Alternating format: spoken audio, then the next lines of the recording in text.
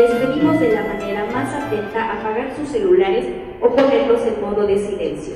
Esto es tercera llamada. Tercera. Comenzamos.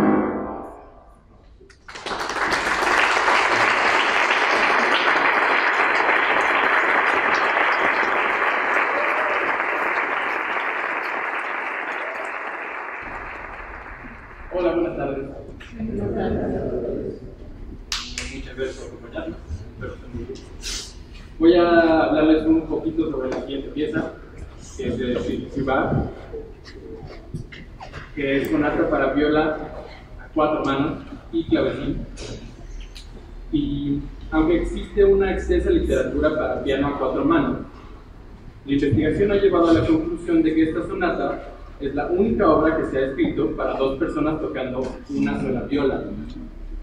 Fue escrito por el último y el peor de los más de 20 hijos de Johann Sebastian Bach, que fue sin duda el más extraño de todos y criminalmente irresponsable a los instrumentos.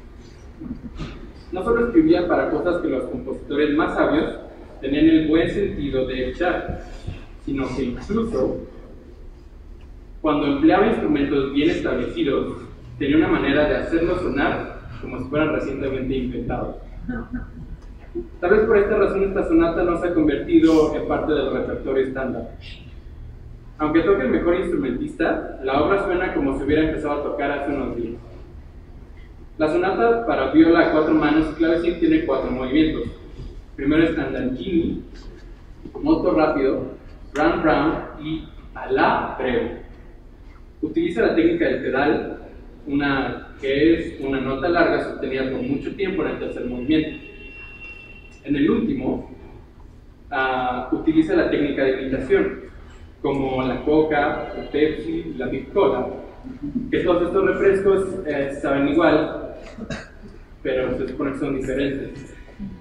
Eh, y también eh, nos hace ver la asociación del compositor con el Medio Oriente, ya que años atrás Philip Bach trabajó en una fábrica de alfombras turcas y la influencia de esa época es eh, muy notable en esta pieza.